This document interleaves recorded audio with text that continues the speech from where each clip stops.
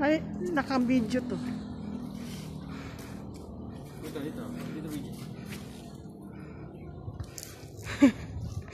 Ano yan?